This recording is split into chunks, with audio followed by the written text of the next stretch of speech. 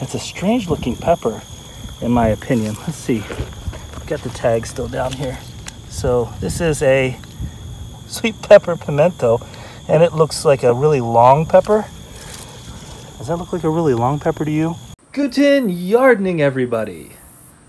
In our last video, I gave you a tour of our new front yarden space, so we're gonna pick up where we left off with some of the tour of the garden that we've already had in place all season. So we're gonna start right here with our okra. This is the first time that we have successfully grown okra. I guess technically it's the first time we've really attempted the okra. But you can see in here, a couple of them are pretty big. We've, we've probably waited a little bit too long on these. And there are a couple more coming in right here. But these are looking nice and they're, they're finally starting to provide lots of okra. So we're gonna have to harvest some of those soon. So that's our okra. We have two different varieties of okra that we planted. Our honeyberries, of course, are early season, um, and they're starting to fade back as the season has continued on. Right past our honeyberries, we have a cucumber that we transplanted into this pot a while ago.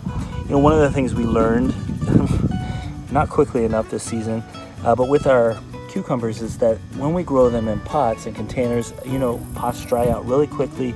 The nutrients also seem to wash out more quickly. So this one was transplanted and was doing very poorly. You can actually see some of the improvements maybe here. Now let's look down in here. This is a this is a male flower right here. You can see behind it there's no fruit there. That's just a thin little stem. But there are a bunch of female blossoms right here. And again, we're, we're attracting the, the bees with a lot of our pollinators here in the front garden space. So we're attracting the bees so they'll come in here and this should get pollinated nicely. Also, do you like our, our fancy setup here? This is a cage and then an inverted cage on top tied together at the top so nobody gets poked and it gives plenty of height development um, we tied it we twist tied it um, but this is a way to modify a cage to give more room for whatever you're growing to actually pop up there and hang on and I tell you this uh, this cucumber is is vining up and taking advantage of this and the rope that we had uh, added to the side. Earlier this bale housed a squash that did not perform very well so we've added a little bit more soil on top. We've put in a purple kohlrabi and off to the side you can see what looks like a whole bunch of weeds growing. Well those aren't weeds. We've got lettuce growing in here. We have a bunch of salad mix, arugula, or rocket growing in here. Um, so this is a bale that will look vastly different here in a couple weeks because you know that the lettuce and the arugula, they grow super fast. And so we're gonna see how that turns out. We learned something this year that makes perfect sense and actually wish we had known it early on about growing in bales. There are some plants that make the most sense to grow first in bales like a nice tomato would be a good example of something to grow the first year in a bale. And then you let it break down and start to decompose. And it's that second year that you plant your potatoes or, you know, root crops, just in general, sweet potatoes, for example, in the bale. Because then it's looser and it has more room for it to develop. Well, we've tried to grow some sweet potatoes in bales this year but it's the first year with it, so I have no idea what that's going to look like when we actually get to pull it up. Right next door to our bale, we have some strawberries that we transplanted last year from the strawberries that we planted beside our blueberries. And these are finally starting to take off and you can see they're sending out runners. Now this runner has attached itself to the ground. And since this is year two, and we have um, we have the expectation of some fruit later on. Uh, this is a variety that will provide us some fruit here shortly. If these runners, uh, well, here is a great example of a runner that hasn't attached here.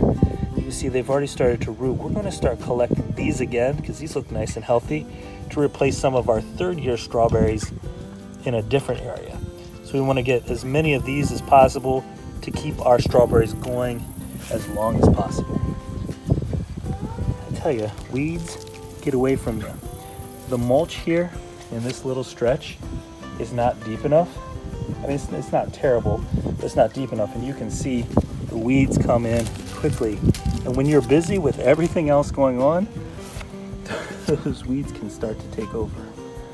All right, we're back at our columnar apple trees. If you've, if you've seen any of my tours before, you've probably seen that I've mentioned these trees. They're some of my favorites here on the property just because of how they grow. This columnar apple, which has three apples on it this year, I'm so excited because these are, mean, they're ready. We might leave them a couple more days, but they're ready. It'll be our first apples that we've harvested off here. We have a yellow and a red columnar. And one thing's for sure, I'm 100% going to take care of our trunk this year. You can see a little bit of the damage that the rabbits caused last year. Because again, in the wintertime, they're hungry. If you saw our video on the freak storm that we had with those massive winds, it just split our peach tree in half. And that's not ideal. And I think one of the reasons it was able to split it in half was some of that damage that the rabbits had caused. So we're gonna protect it. But the reason that I like these so much is these are columnar apple trees and they're not supposed to get any wider than three feet. So they make a perfect borderline, like border property line tree because we can easily maintain them. They're not gonna spread out everywhere. And this is a narrow space here, a really narrow space. And so we want to make sure that we have something that can grow up, but is not going to spread over and make it difficult or impossible to pass through. And these columnar apple trees are perfect for that. Uh, we have some remnants of a season gone by with a few Japanese beetles. but look, there's very little beetle damage as well. Again, if you don't remember this from the first video, these trees are supposed to be the same age, but this one really got roughed up. Ah, it got roughed up this past winter, and it's just now starting to take off again. So we're gonna try to take good care and bring this one back stronger, stronger than ever. This is our peach, one of our peach trees that we have left. This peach tree was, oh, it's probably about six feet tall now. Uh, this is the first time, this is uh, what, year three for this peach tree. And the first, I guess technically two and a half years in. Um, the first season, it didn't really do much at all in terms of growing, but now it is starting to grow up there. So when we planted it, I would say this was probably about four feet out of the ground. So we've gained a couple feet, especially this year. You may be wondering, what is going on with the netting? Well, the netting is there because of the birds and the Japanese beetles, but primarily the birds, because we have quite a few grapes in here, and we wanted to keep those grapes in here. In our live conversation that we were having the other night, last Friday, and we're going to try to make that a habit, by the way. We're going to try to go live on Friday evening so we can relax and do some question and answers. Um, we talked about one of the fruits that doesn't make it into the house for us, meaning, I mean, you see it, it looks delicious. So you got to pick it and you got to eat it right away. and these are one, the grapes are one that just typically don't make it in the house. They're absolutely delicious you come out and grab a handful of them when you're when you're in need of a healthy snack. But our grapes this year, we finally have good grapes. I think we'd have had even better grapes if we understood more then that we know now about pruning these back and just how aggressively you have to prune them back once they get started.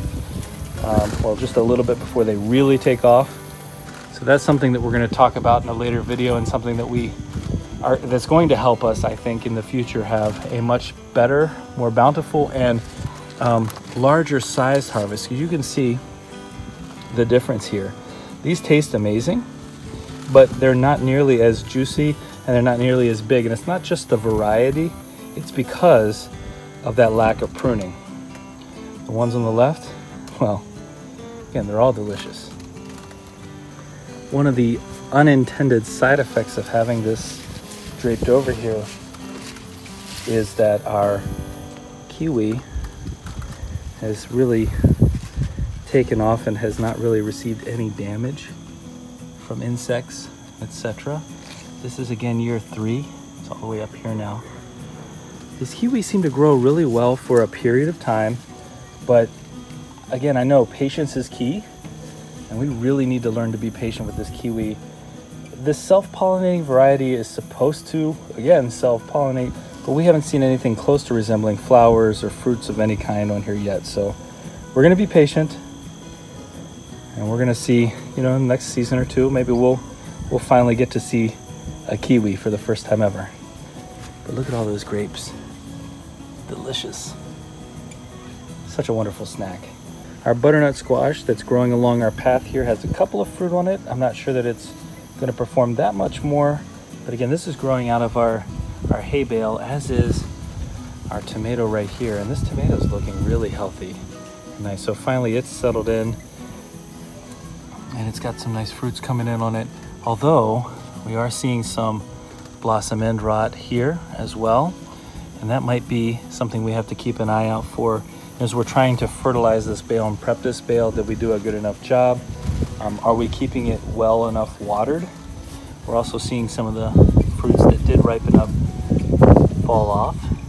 And if you look at them, they all have that blossom end rot, which is not something we're, we're uh, desirous of. So again, this is a learning process, part of the experimentation process of trying to grow in a way, in a bale of hay versus in a more traditional method. It looks like this is some more of our okra. These are ready to be taken off as well, but it looks like the wind and the rain has really started to push these over the last couple days. But we're gonna come out, we're gonna harvest some of these as well to get them off. Again, this is our first time growing okra, so this is a learning process. Now this long bed is where we had our potatoes. This is where our biggest potato harvest came from. Well over 100 pounds of potatoes and you probably notice if you didn't already that our netting is completely removed now except for this little piece that, that got left behind. But that massive freak windstorm, 60 plus mile an hour winds, just tore everything up. I mean, that netting would have worked in a lot of different scenarios, but, but 60 plus mile an hour winds, that's gonna manhandle it every single time. So we're looking for some film to put over here. I learned from a phone call, just by chance, and this maybe is something that'll be helpful to you, that when you use PVC, if you get plastic film like you would use at a greenhouse, the PVC, the gases that are released from it, will actually destroy the film.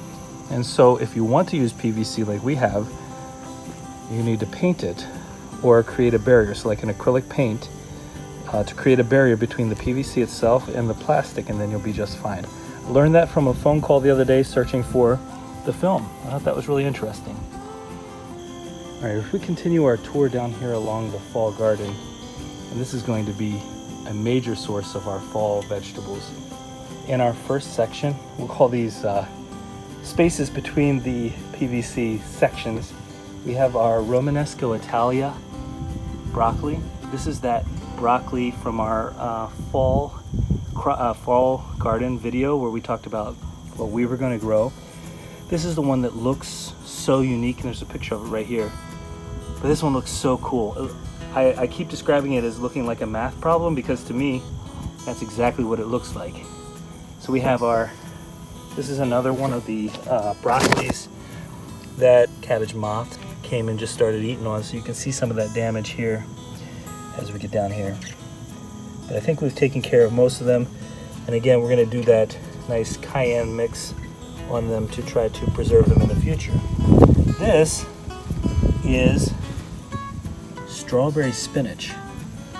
Now strawberry spinach is a different variety of spinach and I've seen some really cool varieties here in recent days. But this one actually grows a red type, it looks like almost like a, not a berry, it's hard to really explain. I'll, I'll show you a picture of what it looks like. Um, but a bit of red that glows up on the uh, from the center of it. It's kind of cool. And then we have just some standard spinach growing along the edge. So we didn't just settle for the Romanesco Italia here, we tried to fill in the whole space. So by the time that this broccoli has really uh, grown up and expanded out, this spinach will have provided us with quite a bit more uh, vegetable and crop just in general. Right next door, we have our purple kohlrabi. We planted quite a bit of this kohlrabi. I can't stress that enough. We are, we're going to go crazy on kohlrabi this year. Here's some more of the spinach, the strawberry spinach. We're going to go crazy with kohlrabi because why not? It's absolutely fantastic tasting, um, extremely versatile, and sadly, the rabbits like it too. So some of these had that um, cabbage moth, cabbage worm damage. Then the rabbits have also come along. So we're gonna again have to protect this with that cayenne mix as best we can. Otherwise they will come out here and they will thoroughly enjoy it. My understanding is, and you can correct me on this one as, as well if I'm wrong, but because rabbits are mammals, they can taste the, um, the spice of the cayenne pepper that we would put in here versus the birds, which can't taste it. The birds don't have that ability, they're not mammals.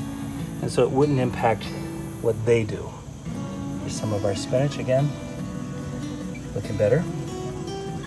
And so when we're trying to defend against those rabbits, I think this will help a lot. In this little section that looks empty, if you look closely enough, you can probably see the outline of a square. That's because we used our seeding square here to plant three different varieties of beets and some more daikon radishes. Wherever we have space, we're maximizing it. That, that's, I'm telling you, that seeding square is absolutely phenomenal. And once again, if you haven't checked out our giveaway, our seeding square giveaway, you should really do that. The video is called Urban Homestead Dream. All you have to do is watch and leave a comment and you'll be entered in to win as soon as we get to a thousand views. And we're already at almost 500 views as we speak right now. I think it really helped that we had that nice rainstorm last night. You know, when you transplant vegetables, they, they sometimes wilt and, you know, especially if there's a, really strong heat of the day. But here, these are looking nice. A little bent over because of the wind, but they're looking really nice. I think they're going to be content where they are. I haven't really spent very much time talking about the strawberries that are on the other side of the path here they're looking pretty good. They haven't really given us much fruit this year. In fact, it's been a down year overall for our strawberries. And our blueberries are already starting to fade into that kind of reddish tinge of the fall. But our grapes that are along here are, well, there aren't as many left as there used to be. Again, these are some smaller grapes because we didn't prune back enough. But these, even though they look a little lighter, this variety in particular is probably the sweetest variety that we have. Our gooseberries and our black currant and our pink champagne currants, those have all been done for quite some time. But these grapes are looking absolutely wonderful and they taste even better than they look. This one has probably, you know, some of the most plentiful and, and really good sized grapes of any of the ones that we have around on this side. And these are also, again, very sweet, very delicious and these definitely don't make it inside for us. Some more of our strawberries and then of course our blueberries down here. We're hoping for some actual good production next year. We're going to do a better job of keeping these fed and I think that was part of the issue this year. Down from this angle we can see our tomato plant here on the left that's been just really productive this season. But It's starting to die back some and these fruits have been on here far too long and you can see they're starting to get a little squishy and so we got to come in here and harvest them all here quickly. Again, it's one of the challenges when you're growing this much food is to take care and make sure you're actually getting out here and harvesting them in a timely manner so that nothing goes to waste. By the way, the strawberries down here on this end are really starting to produce now. They're starting to come in nicely right on the outside as well. As we enter this part of our garden, and this is our main garden now, I want you to notice something that I find really interesting.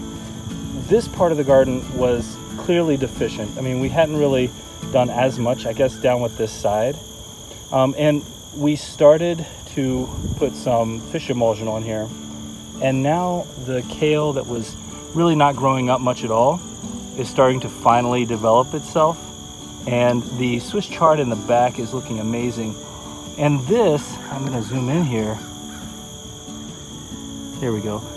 This Brussels sprout plant actually has the biggest sprouts of any of our Brussels sprouts, which is kind of interesting to me considering how poorly everything else was doing for so long. Our basil has gone to seed completely. This is our lemon basil.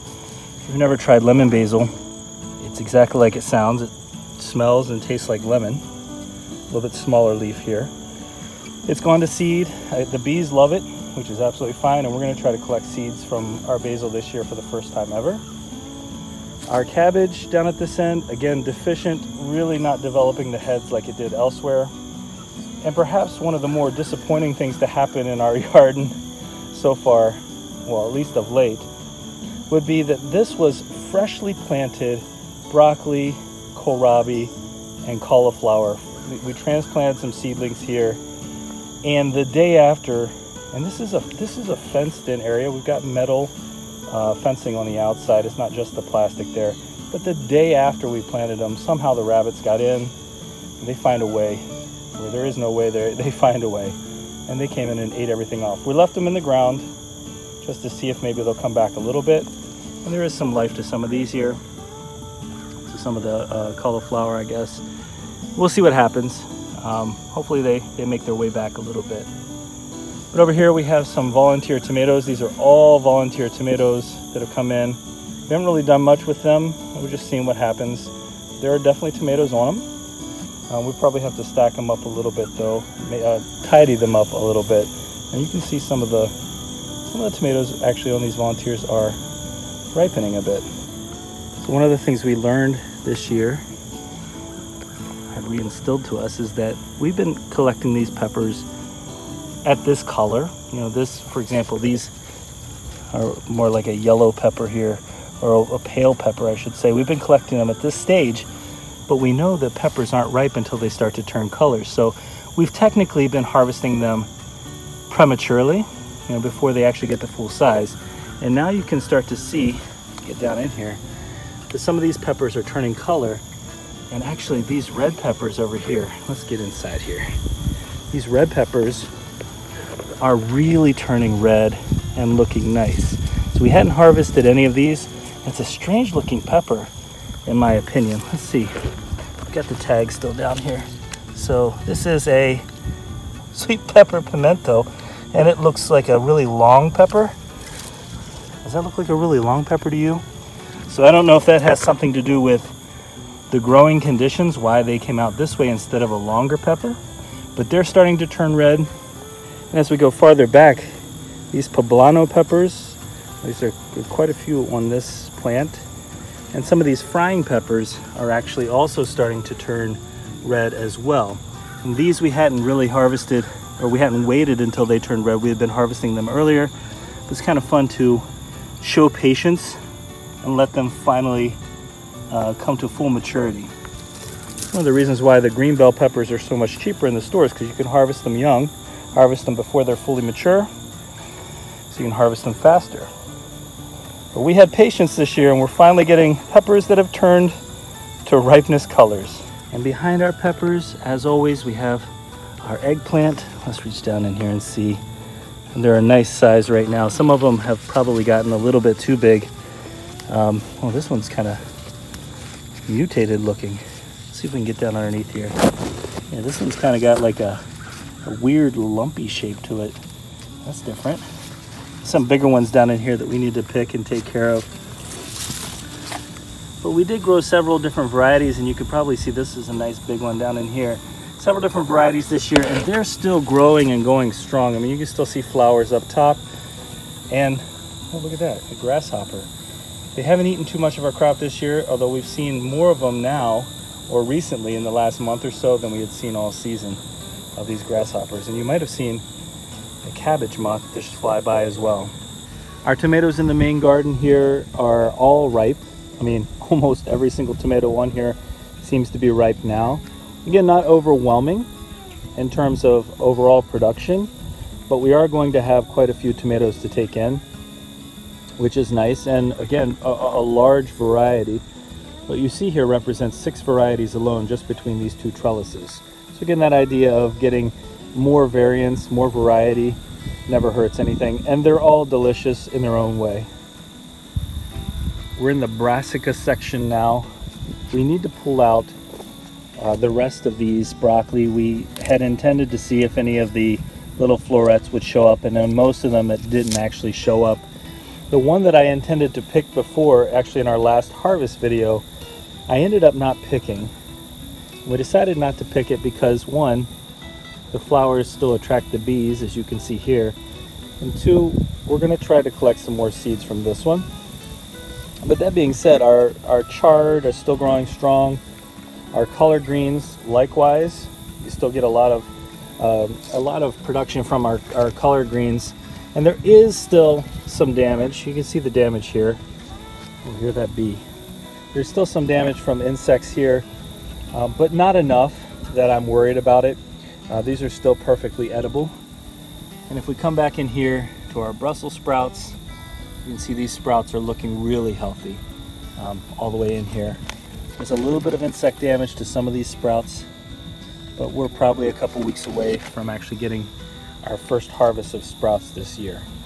Where our cabbages have come out, tomatoes have volunteered to come in, and we're gonna get a little bit off of these, a few fruits off of these. Not sure exactly what that variety is. It's from a seed from some tomatoes last year, so it probably looks a little bit similar, but it is going to be a different variety than what we've had in the past. And our celery is still going strong. I mean, these four plants here have, have fed us and given us so many smoothies so far. Um, it's been absolutely wonderful. And the taste of these celery, again, if you've never tried homegrown celery, it's a stronger taste. I know there are a lot of people that think celery doesn't have any kind of taste at all, but believe me, if you tried these, you would see just the difference in taste overall. The really strong celery flavor. One of the things we learned this time around with our parsley is that, well, we planted too much. This is curly parsley, and we planted several of these, and we didn't need nearly as much as we planted. And so this one's going to seed. Haven't really been able to stay on top of it as well as we'd like.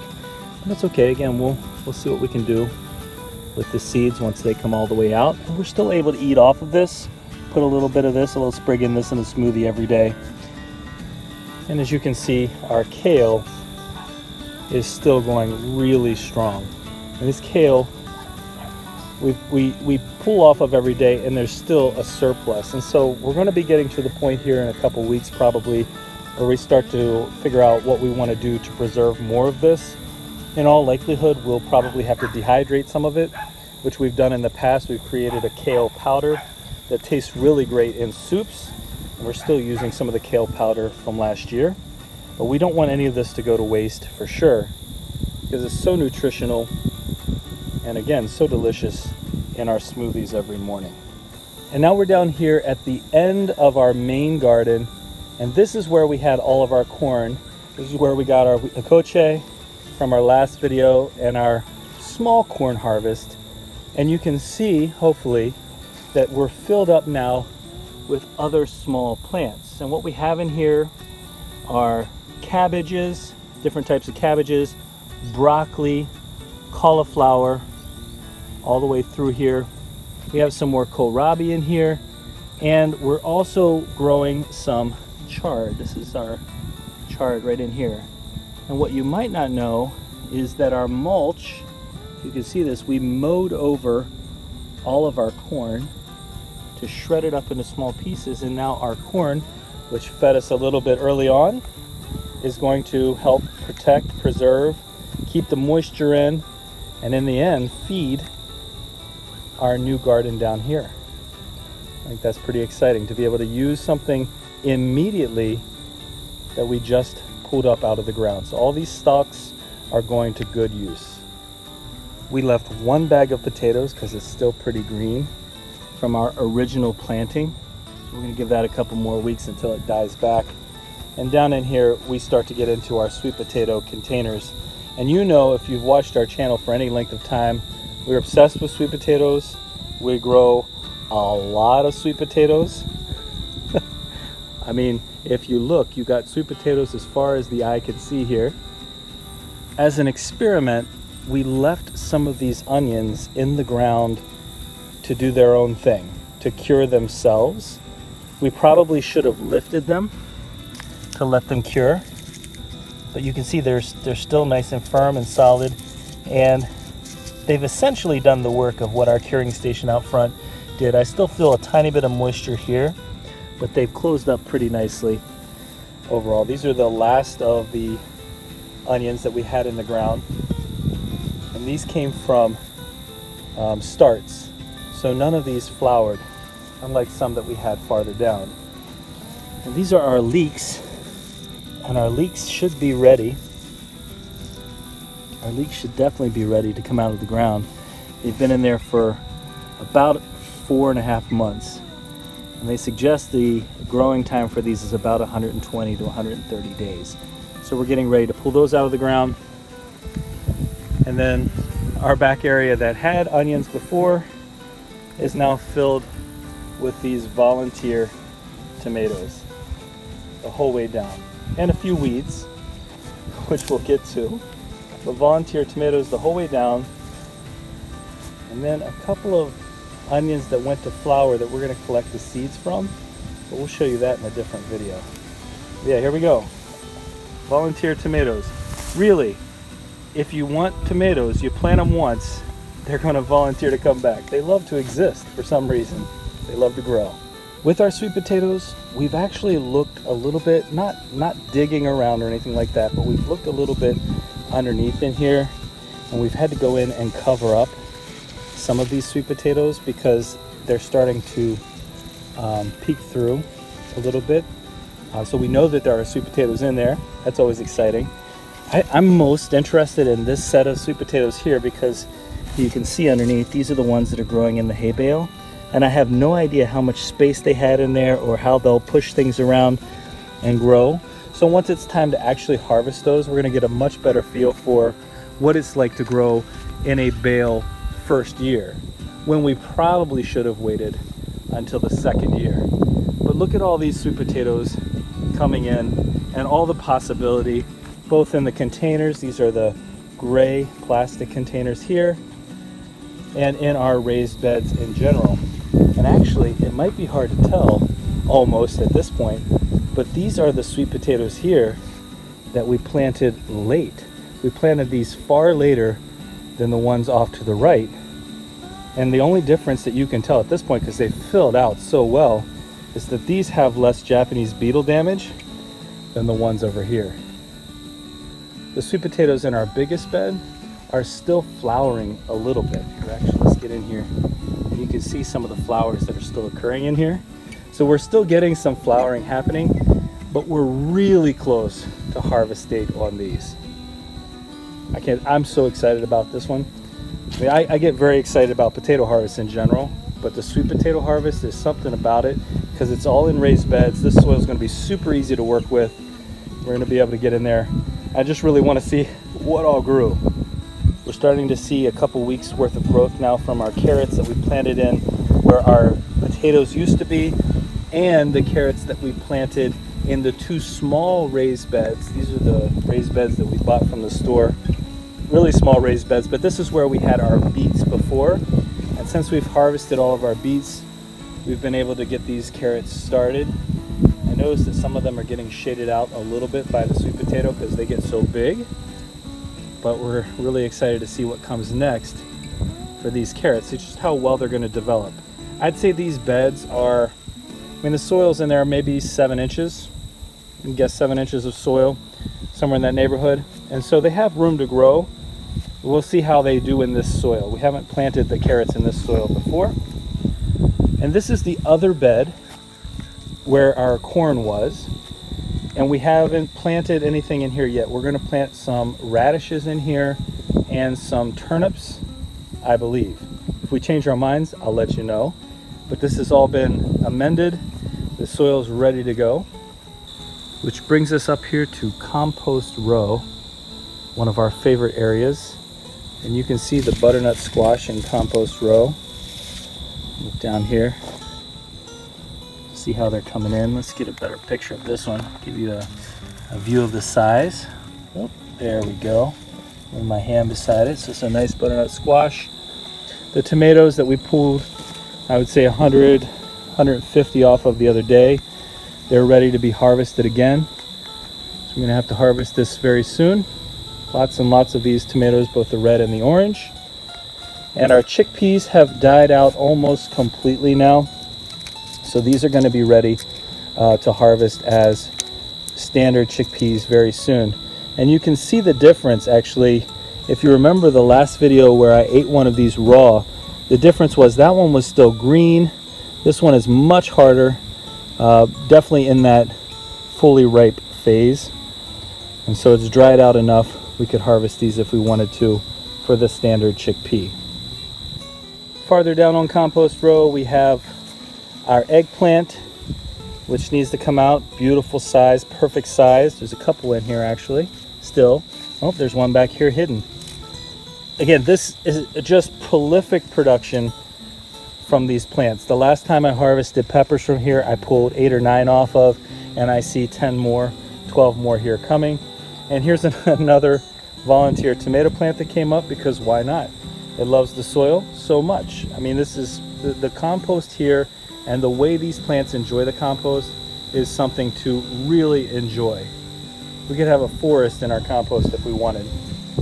The potatoes that we planted, the little fingerling potatoes are coming up nicely. They're probably going to start dying back fairly soon. We talked about having the white containers here and how we needed to wrap them in plastic, and that's exactly what we did. We wrapped these in plastic on the outside so that there wouldn't be any sunlight getting through. This is kind of cool. Our neighbor's sunflower has decided to come over and see us. Remember the damage from that, that storm really hit home. The size of this one. It really hit home for us and really hit hard. So they're bending everywhere, but you can see the sunflowers and, and uh, the flowers themselves are starting to pop out. So this will be ready to harvest before you know it, be able to cut off, but the back of it hasn't turned color enough yet. I'm gonna say that working in raised beds is a learning experience. I mean, it really is in terms of how much fertilizer do you need, what do you need to do to make sure that the nutrients stay in the soil, that you start off with solid nutrients. And so we've struggled a bit. This is our uh, one of our butternut squash. You can see I don't know how well it got pollinated, um, but it's it's struggling a little bit. Even though, well, there's still some some male flower here at the end. There's still some life in it. Still some life, but um, you know our kale seems to be doing fine. Oh, I'm sorry for the wind here. I think I think it's going to storm again. Um, and we have our beans. Our beans seem to be doing okay. These are pole beans we planted recently. And we also have some bok choy that we planted. It's just starting to come up, as you can see. But our purple kohlrabi, which should have developed more than this, is still sitting there struggling. I think we should have transplanted and moved and separated these out a bit. We never did. So, you know, this is probably the biggest development we have so far, which is what, maybe two inches? No, I wouldn't say that. Maybe an inch and a half in diameter. And the same thing, our cucumber struggles continue. We have a few here, here and there.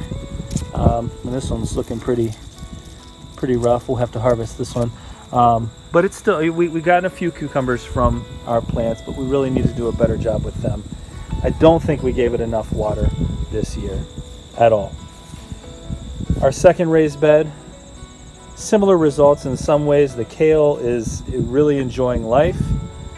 Our tomatoes that uh, came up in here, they're also doing just fine. I mean, overall, they're not huge, they're not big plants, but they're there. They're they're doing okay. You do see of uh, insect damage to some of our our little greens. We struggle with that quite a bit this year. There's some lettuce coming up.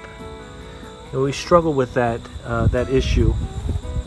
On one of our melons that came in, and this one's having looks like a little bit of damage off to the side. We're trying to support it as best we can. A few peppers here and there. These look nice. Over. Whew, windy. And we'll pull these tomatoes off here shortly. again, they may not be a lot, but when you add everything together, you start to see how valuable having multiple options and all this pr production in general and as many plants as you can fit, I guess, uh, reasonably is. Our morning glory, our morning glory in the mornings, why they call it morning glory when these are opened up, is absolutely beautiful. So many different colors. And down here we have some more beans and our carrots that have been coming in for quite a while now. And of course, as I have mentioned in previous videos, our basil, which we're letting go to seed here. Uh, but we still pull from uh, for various recipes. There's a potato soup recipe out there that we use, uh, again from Geeky Gardens. I've mentioned it in the past, but we use this basil for it. Uh, it's really quite tasty. We actually left some of the beans on for a really long time, and you can see they're starting to turn yellow. But that's because we're going to harvest and see if we can save some of these beans. So some of these are intentionally left on there just for our own purposes of experimentation with trying to grow beans ourselves. And here are our carrots that we planted a couple weeks ago coming up, looking like they're doing pretty well. Again, I think this cooler weather, I think the uh, more rain that we're getting now is going to help out quite a bit when it comes to the, their development and the speed of their development going forward. It is supposed to be really nice and cool the next couple of days, in the evenings especially, um, so I think that will help a lot. And here we have our red raspberry, and I'm bringing you over to our red raspberry because this variety, unlike our black raspberry right here, this variety of red raspberry gives us fruit twice. So you can see we have some already ripe fruit here. And that's one of the benefits again of diversifying what you're growing is you're not just getting a single fruit. Some of these are getting overripe already. You're not just getting a single fruit or a single harvest of fruit. There we go. Yeah, that's a little bit a little bit overripe, but it's still going to taste delicious. Um, you can get multiple multiple harvests of fruit. Now these need to be cut back pretty badly. The ones that have already fruited and aren't going to fruit again. The same thing for this black raspberry. We've waited way too long to cut this back. Um, so we're going to show you how we cut it back here in an upcoming video. We should have done this a month and a half ago, really. Um, as soon as it was done fruiting, we should have cut off the ones that aren't going to fruit again so we can conserve energy for the canes that are going to be fruiting next year. But you know, you get busy and you make excuses, and that's where we are right now we've got to get caught up with some of these. In our shaded raised bed back here, we have an absolute mess of greens. And again, part of that is due to the fact that we haven't cut back and then shaped this blackberry bush, or black raspberry bush. Uh, but we have our collard greens back here that are uh, in need of some serious eating. we need to confiscate some of these leaves. Confiscate. Uh, we have our Swiss chard and the rabbits love the Swiss chard. So you can see they've they've actually been back here a little bit eating some of our Swiss chard. Uh, but we have our broccoli, we have some more beans. Again, this is a different variety of the pole bean um, than we have over there. And so we're trying to keep some of these seeds and see what we can do in terms of overall seed saving. This is all experimental for us. So we probably have to let some of these dry even longer and some of them, oh, I just dropped it. Some of them are not going to be uh, viable at all. We want to see if this is something we can do ourselves. And I'm noticing these are really squishy and so not viable. This one probably didn't develop long enough. Here's more of our celery plants. Again, the celery really seems to enjoy the shade. Uh, these are super healthy. These have been in the ground for how many months now still going strong along with the other greens that are over here. So a pretty productive bed for a shaded bed. We can't really complain at all about what we've gotten out of here. Just like our cucumber out front, this one has a taller cage so it doesn't have that inverted cage on top. But we've got a cucumber coming in here and it's looking a little bit healthier than our other cucumbers, which is good.